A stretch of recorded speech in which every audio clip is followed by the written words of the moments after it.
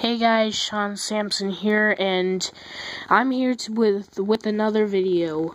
Today I'm going to make an apology to my my commentators slash critics. I feel terrible about making com those commentaries on Dale Rockman.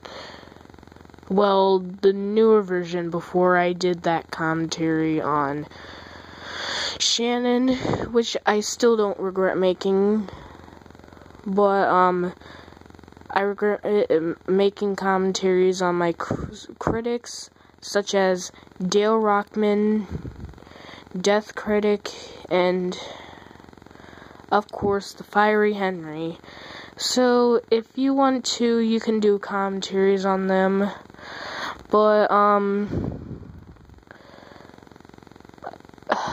I will be doing some more commentaries but if they are terrible, then let me know. So, this is Sean Sampson, and I'm signing out. If you excuse me, I'm gonna go work on some more commentaries. Yeah.